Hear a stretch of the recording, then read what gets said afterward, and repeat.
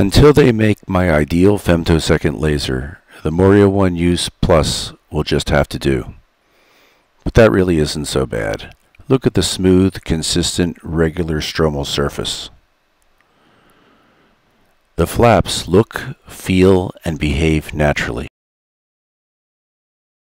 There are no chatter lines, no irregular surfaces, and a beautiful peripheral contour.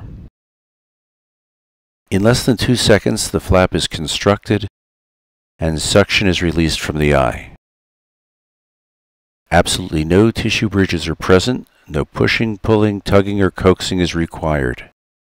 Flaps lift atraumatically and a dry, smooth surface remains.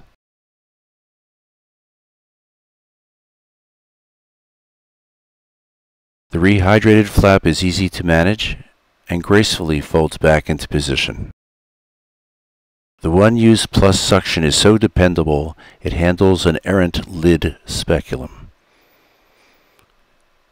Can you ask for a nicer canvas for excimer laser ablation?